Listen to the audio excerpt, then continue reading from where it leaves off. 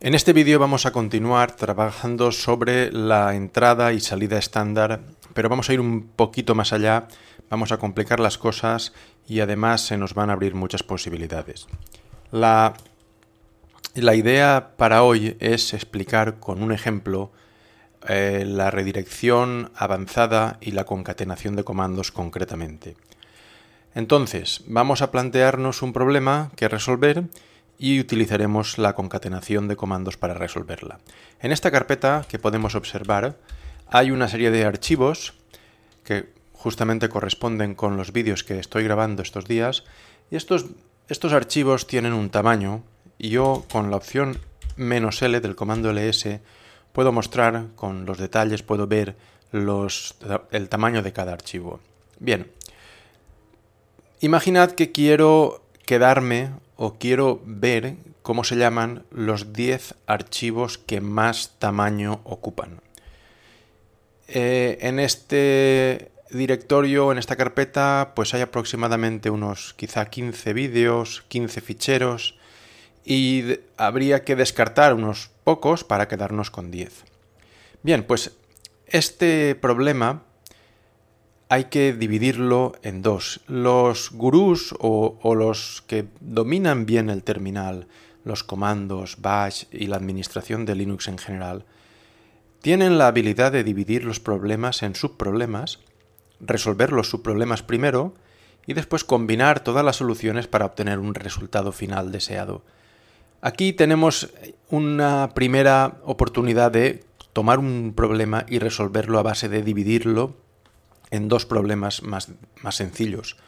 Por una parte tenemos que coger y eh, quedarnos con los ficheros que más ocupan, simplemente con los que más ocupan. Hemos de encontrar alguna forma de listar los ficheros de acuerdo o tomando como elemento organizador o como filtro el tamaño de esos archivos. Después eh, teniendo un poco los ficheros listados eh, según su tamaño, pues lo que haremos es seleccionar 10 o quedarnos con una cantidad deseada. En este caso 10, pues porque el comando que usaremos por defecto toma 10. Bien, para primero que nada listar los archivos y obtener un listado en función del tamaño, eh, una persona, un aprendiz, debería irse al comando man, debería leerse la página del comando man y, buscar entre estas opciones cuál le puede echar una mano, cuál le puede ayudar y cuál le puede venir bien. Y entonces la opción que en este caso nos va a venir bien es la opción menos "-s", mayúscula. Es la opción que lista los ficheros según el eh, tamaño, lista los ficheros y los ordena, mejor dicho, según el tamaño. Por eso si utilizamos menos "-s", mayúscula, la salida sale ordenada. Claro, si solo pongo menos "-s", me sale un listado de nombres y yo esto que estoy diciendo pues no lo puedo comprobar. Podemos perfectamente combinar menos "-s" y menos "-l", además en cualquier orden, podría poner menos "-l" y menos "-s" y funcionaría igual. Incluso se puede llegar a combinar así, menos "-ls", esto es una cuestión de que el comando permite estas combinaciones de esta manera. Otros comandos, pues podría ser que no. Vamos a utilizar de todas formas una forma de escribirlo un poco más tradicional y ortodoxa, menos L menos S. Y aquí tenemos el listado y como podéis ver, los ficheros que aparecen arriba son los que más tamaño tienen y conforme vamos bajando en esta lista vamos viendo que los ficheros tienen cada vez menos tamaño. Este fichero tiene aproximadamente un giga de tamaño. Eh, ya tenemos una parte del primer problema solucionada. ¿De acuerdo? Podemos listar los ficheros y podemos quedarnos primero con los más gordos, con los más extensos. Lo que ocurre es que, bien, yo no quiero el listado con toda la información, solo quiero los nombres. Entonces vamos a volver a utilizar el comando ls sin la opción "-l, pero fijémonos un poco en el nombre de cada uno de los primeros archivos, ¿eh? mobi 0868, ciclistas, salida, entrada, salida estándar, carpetas y rutas, salida, entrada estándar. De forma que si yo ahora hago ls menos s sin el menos l, ahí tenemos, fijaos, tenemos los nombres en el mismo orden que hemos visto antes. Movi 0868, ciclistas, salida, entrada estándar edit, carpetas y rutas.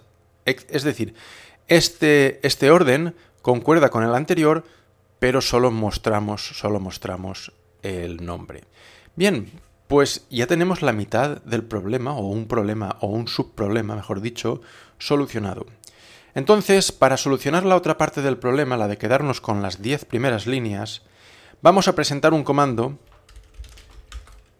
porque nos hace falta. Yo estoy retrasando la introducción de comandos hasta el momento en el que hagan falta y en este caso ya necesito. El comando es el comando head. Comando head o cabeza en inglés lo que hace es, si lo invocamos así sin más, lo que hace es leer de la entrada estándar y mostrar por la salida estándar solo las 10 primeras líneas. Entonces yo hago head, observaré una cosa que hay que explicarse, y voy a explicarlo detenidamente. Estoy escribiendo ahora letra a letra una palabra y conforme la escribo aparece en el terminal. Aparece por, por, por el eco. El eco es el reflejo en la pantalla de cada tecla pulsada, sin que esa Mm, esa letra que veo en la pantalla o esa información haya pasado por el comando. Es un eco de lo que yo pulso, para, para que el usuario vea lo que está pulsando y no escriba a ciegas. Pero esta línea todavía no ha llegado al comando head porque yo no he pulsado enter. Cuando pulso enter, voy a hacerlo ya, cuando pulso enter, head toma esa línea y la saca. Y simplemente la vuelve a sacar por la salida estándar. De ahí que vea ahora mismo, otra vez, la palabra 1. Si yo escribo, conforme escribo aparece poco a poco y cuando pulso me aparece la segunda línea. Bueno, pues voy a ir escribiendo, voy a escribir el número para ir más rápido, 3, 4, 5, 6, 7, 8, 9, y ahora cuando vaya a escribir la 10, voy a escribir en letra, escribe la que hace 10 y el comando mismo para, porque el comando filtra las 10 primeras líneas, el resto le dan igual. Y con la, con la decimoprimera línea no iba él a hacer absolutamente nada y por tanto termina. Entonces, ahora hay que pensar que tengo un comando que me muestra por la salida estándar, este es, me muestra por la salida estándar la lista de todos los ficheros ordenada por tamaño. Ahí está. Y tengo otro comando que es capaz de leer de la entrada estándar y quedarse con las 10 primeras líneas. Bien, aquí hay que combinar las dos cosas. Como hemos aprendido en la lección anterior a redirigir a un fichero la salida estándar y hemos aprendido a redirigir desde un fichero la entrada estándar, pues blanco y en botella. Lo que voy a hacer es ls-l y redirigir esto a un fichero. Voy a llamarlo fichero listado. Ahora pues no aparece por la salida estándar porque lo he redirigido a un fichero. Puedo ver el contenido si quiero. cat, fichero estándar, fichero listado. Ahí está. Aparece el listado. Hay un detalle, una curiosidad, ¿eh? y es que aquí el comando ls ah, es muy listo y me lo saca en columnas.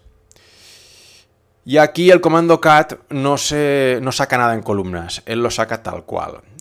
Cuando LS lo ha listado para, para que saliese, él sabe, él puede saber y lo hace, que no es por la salida estándar, y me lo lista de la forma tradicional, clásica, una línea por fichero. De ahí que veamos que si usamos LS aparece así, igual que aparece en color, y si redirigimos a la salida estándar el contenido de LS, LS ya no se comporta tan eh, no se preocupa del aspecto, ya directamente saca un listado de palabras, una por línea. Y eso es lo que examino aquí. Bien, vuelvo al problema que teníamos entre manos. Ya tengo el listado en un fichero de los 10 ficheros más gordos. Ahora quiero quedarme con las 10 primeras líneas, por tanto lo que tengo que hacer, voy a mostrarlo así, lo que tengo que hacer ahora es head y redirigir de la entrada estándar ese fichero listado. Y observad que solo me aparecen 10. hasta, vamos a ver, aparece, ah, voy a intentar ir hacia arriba con, la, con el desplazamiento, Movi, ciclista, salida, entrada estándar, edit, carpetas y rutas, salida, entrada estándar, sin el edit, ficheros, uno malo, a ver, aquí está, Movi, ciclista, salida, entrada estándar, edit, carpetas y rutas, salida estándar, es decir, nos estamos quedando con, la primera parte de este fichero, ¿eh? y hay que contar, a ver, 1, 2, 3, 4, 5, 6, 7, 8, 9 y 10. Aquí está, ya lo tengo. Tengo los 10 primeros ficheros arreglo a su eh, tamaño. Bien, pues lo que voy a presentar a continuación es la concatenación de comandos. La concatenación de comandos consiste, y lo voy a mostrar otra vez con, una, con un gráfico, consiste en redirigir la salida de un comando en redirigir la salida de un comando a la entrada de otro comando. Estoy corrigiendo sobre la marcha. ¿eh? Entonces, yo ejecuto el comando ls y eh, si lo ejecuto sin más, como he, como he, hecho antes al principio, me ha salido por, la pantalla. Me ha salido por la pantalla. Después lo he redirigido a un fichero. En, ambos casos, la salida estándar del, del comando ls es por donde sale la información, por donde salen los ficheros listados en orden alfabético, en orden de tamaño, perdón. Yo lo que, lo que quiero es esta salida estándar, conectarla directamente con la entrada estándar del comando head. Nosotros no lo hemos hecho así, lo hemos hecho a través de un archivo. Hemos, hemos hecho, voy a recuperarlo, hemos hecho esto y por tanto hemos redirigido la salida del comando ls a un archivo. Y después hemos redirigido el archivo a la entrada estándar de otro comando. Y el resultado ha salido por pantalla y ha, funcionado bien. Bien, pues se puede hacer todo de golpe. Yo puedo hacer ls-s y ahora, utilizando este carácter que tiene muchos nombres, yo le llamo la barra vertical o la tubería etcétera. Eh, no sé, no sé ni, ahora mismo ni cómo se llama. En, definitiva, en el teclado castellano se obtiene con la tecla alternativa gráfica 1 o Alt GR1. Ese comando que eh, pues se asemeja a una tubería, a un pipe en inglés, significa que la salida estándar del comando que tiene a la izquierda, es decir, del comando ls-s, va por la tubería esta y llega a otro comando que es el que ponemos aquí, head. Entonces, de la salida estándar de un comando a la entrada estándar de otro. Estamos con ese comando eh, eh, construyendo este montaje que podemos ver aquí. Ojo que solo hemos alterado la salida estándar del que hay a la izquierda con la entrada estándar del que hay a la derecha. Es decir, que la salida de ls se conecta con la entrada de head. De la salida estándar de head no estamos diciendo nada. Y de la entrada estándar de ls tampoco. Lo que ocurre es que ls no es un comando que haga caso de la entrada estándar, no lee nada. ¿eh? Muestra el contenido de un archivo y para ello no tiene que leer nada de ninguna de ningún teclado ni de ningún ni de ningún lugar. Entonces, sencillamente, si hago esto, veo que efectivamente el resultado es el mismo, el mismo. Y esto se puede concatenar. Se puede concatenar. Y voy a ampliar el enunciado que he hecho antes, el problema, voy a ampliarlo ahora sobre la marcha para, para demostrarlo. Imaginad que quiero ver efectivamente los 10 archivos más grandes de esta carpeta ordenados alfabéticamente. Aquí no están ordenados alfabéticamente. Aquí se mantiene el orden del tamaño, que es el orden que ha producido inicialmente este comando. Bien, pues como, como ya tengo como ya tengo el comando que me saca los 10 mm, ficheros con más tamaño, solo he de reordenar esto. Y el comando para reordenar que usaremos es sort, que ya lo hemos utilizado antes. Sort lee de la entrada estándar.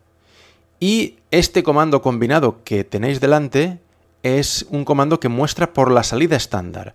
Por tanto, hay que concatenar con el comando, con el carácter pipe que estoy poniendo aquí, o con el carácter tubería o con la barra vertical, hay que concatenar al comando sort. Y observad que me salen los mismos, eh, voy, a, voy, a, colocar aquí los dos comandos. Eh, el, hecho, el que he hecho antes, que no ordena alfabéticamente, y el que acabo de poner ahora, que ordena alfabéticamente.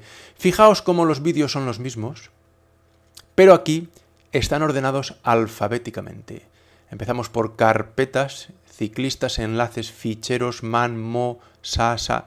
Es decir, esta, este comando que tenemos aquí ha mostrado por la salida estándar todo esto, pero al ponerlo como, como hemos hecho aquí, la salida estándar de head ha sido concatenada a la entrada estándar de sort. En definitiva, sería como si aquí pusiésemos un tercer comando en sustitución de este dibujo que representa el terminal y la salida estándar de head estuviese en la entrada estándar de este nuevo comando. Esto da mucho juego, porque a partir de ahora te puedes dedicar a aprender distintos comandos y combinarlos como desees. Eh, por tanto, en el siguiente vídeo lo que vamos a hacer es justamente eso. Vamos a aprender ciertos comandos, vamos a ampliar el, conocimiento de cat, vamos a eh, utilizar sort, vamos a utilizar head, que ya lo hemos utilizado, tail, que es un comando que hace lo opuesto a head, es quedarse con las últimas líneas de un fichero. Vamos a utilizar el comando cut para trocear líneas, el comando grep para filtrar líneas, el comando tr para sustituir caracteres y algún que otro comando menor para manipular líneas, texto, por ejemplo WC para contar líneas, etc. Y todos estos archivos, todos estos comandos los vamos a combinar a base de es la salida de uno, ponerla como entrada de otro y cada comando va realizando una función de procesado de información línea a línea, filtrado, etc.